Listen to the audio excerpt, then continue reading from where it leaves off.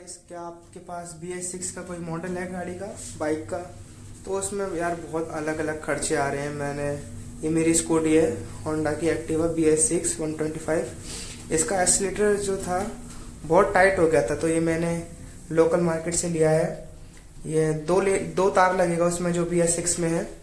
तो इसमें एक तार का प्राइस है तीन सौ। लेकिन आप लोकल मार्केट से लेंगे या फिर सेक्टर नौ से लेंगे तो आपको एक तार डेढ़ सौ का पड़ेगा। और जो दो तार हैं, वो दोनों तीन सौ के पड़ेंगे। और इसको, इसका जो लगाने का लेबर चार्ज जो आया था, वो भाई ने मेरे से साढ़े चार सौ लिया था। और अभी मैं यूज़ कर रहा हूँ गाड़ी, काफ़ी बढ़िया चल रही है। आप देखो कैसे कैसे खोल रखा है। इसको लगाने में बहुत दिक्कत आता है।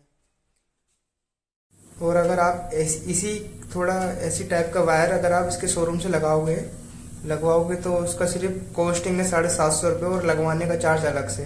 तो मैं बाहर से सो so गाइज़ एक वायर ये है एक्सलेटर का, जो अभी डाल रहे हैं भाई साहब, और ये दो, इसमें दो वायर पड़ेंगे।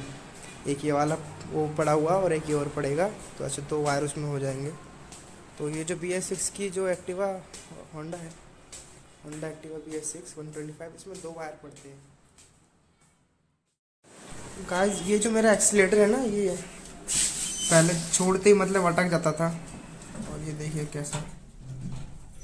और गाइस इन लोगों ने पता है होंडा वालों ने बहुत इसमें जुगाड़ बिठा रखे हैं, ये रबड़ के लगा रखे हैं, जो मतलब पूरा वाइब्रेट ना करे ये। भाई लगा हुआ है, पूरा वायर डालने में बहुत। और ये देख रहे हो रबड़? ये वाइब्रेट ना करे, इसलिए रबड़ डाल दिया ऐसी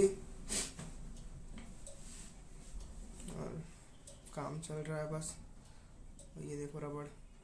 ऐसे ऐसे रबड़ लगा दिए। सारा जुगाड़ू। सो so गाइज़ मेरा यार ये एक्सलेटर वायर लगवाने का खर्चा आया था।